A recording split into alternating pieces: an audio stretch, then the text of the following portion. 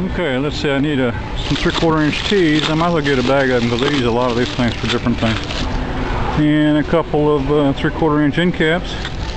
Okay, we need three pieces, one and a half inches long according to Paco.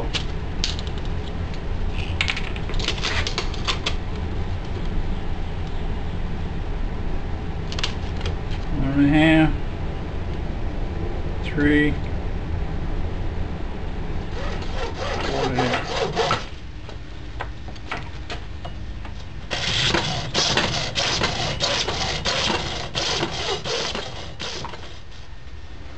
And then I'm going to cut four pieces. Uh, one is nine inch, one seven inch, one six and a half inch, and one five and a half inch piece.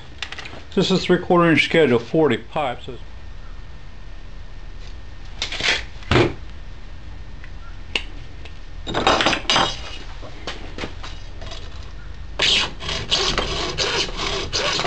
I'm going to doodle my cuts by uh, just taking my finger and knocking off the edges and then I'll run a piece of sandpaper around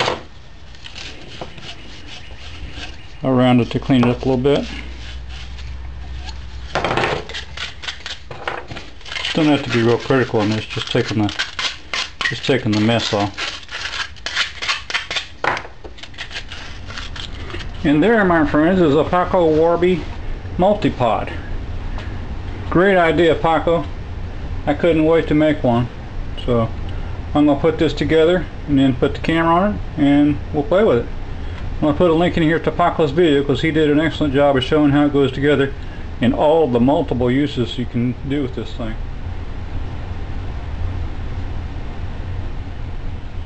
See I'd made one of Paco's tree tree pots but you can use for a self-standing tripod.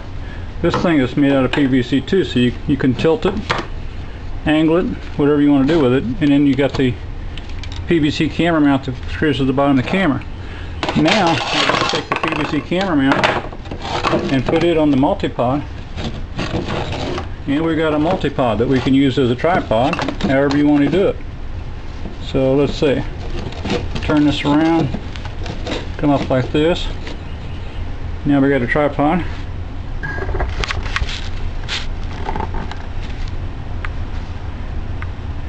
I'll let Paco's video show you all the way to use it. There's a multitude multitude of ways to use this thing. Can't you can't believe it.